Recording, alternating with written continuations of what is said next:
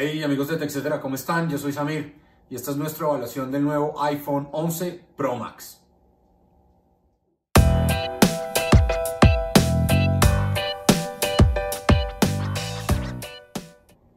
Si no tiene mucho tiempo y solo tiene un minuto para quedarse y ver este video, le voy a dar tres razones por las cuales este teléfono puede ser su próximo dispositivo. Uno, las cámaras son fantásticas. Dos, la capacidad de procesamiento es absurda. Y tres, la batería es genial. Sí, debo confesarlo. iPhone 11 Pro Max no me parece el nombre más sexy del mundo para un dispositivo. Y sin embargo, este aparato sí lo es. En el nuevo color verde se ve hermoso. Y aunque en fotos y videos ese array de las cámaras pareciera ser feo, la verdad es que en vivo se ve realmente elegante y es muy sutil la protuberancia que uno encuentra en comparación con los lentes de años anteriores. En muchos aspectos, Apple se pone al día en temas de fotografía con sus dispositivos, especialmente en el modo de noche. Pero la verdad, la calidad de las fotos y videos de este dispositivo no tienen comparación. El lente gran angular permite la entrada de luz como nunca antes lo había permitido, permitiéndole al dispositivo tomar unas fotos en modo noche fantásticas. El teleobjetivo acerca de una manera impresionante y con gran detalle las fotos que estamos tomando. Y por último, el nuevo lente ultra gran angular nos permite tener un campo de visión de 120 grados que cambia radicalmente la perspectiva de las fotos que tomamos. Déjenme les muestro unos ejemplos. El iPhone toma unas fotos realmente fantásticas, especialmente de día. Miren los colores que se logran con el lente teleobjetivo. La verdad es que esta foto la tomamos desde el mismo lugar con los tres lentes diferentes. La primera con el teleobjetivo, la segunda con el lente gran angular tradicional y notarán el balanceo de los colores y la tercera con el nuevo lente ultra gran angular. O miren este segundo ejemplo.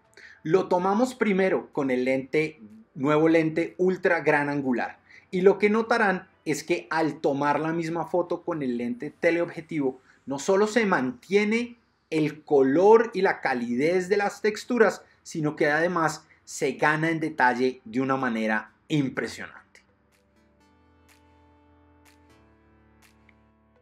Y aunque es claro que aquí se perderá mucha de la resolución de las fotos que he tomado, Miren estas fotos en modo nocturno, fotos que en el pasado no era posible tomar con ningún iPhone.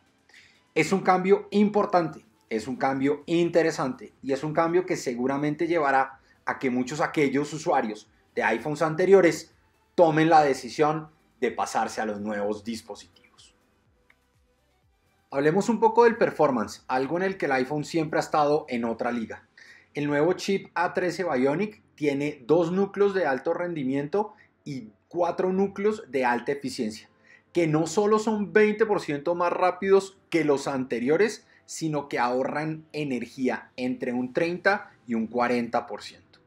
Es más, si uno mira las comparaciones de cómo es el performance de las máquinas, según Geekbench, el iPhone 11 Pro está lejos de la competencia. Hablemos de la batería, porque la verdad es que si usted tiene un iPhone, seguro ha sufrido con ella. Apple dice que este dispositivo dura 5 horas más que el iPhone 10S Max. Yo hice una prueba al contrario. ¿Con qué porcentaje de batería termino el día? Con cada uno de mis dispositivos.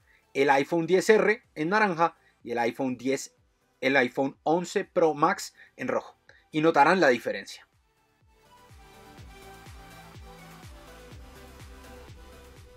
Y déjeme termino con la pantalla. A pesar de que ni la resolución ni el tamaño ha cambiado, la pantalla es mucho más brillante que la del iPhone 10S Max y la de los iPhones anteriores. Esta puede llegar a un total de nits de 800 por encima de los 650 que ofrecían los modelos del año pasado.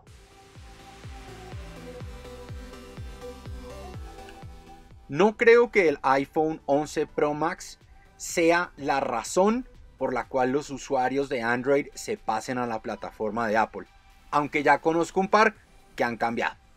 Lo que sí estoy seguro es que si usted tiene un iPhone 10 o un iPhone anterior a ese modelo, el pasarse al iPhone Pro o al iPhone Pro Max es una acertada decisión.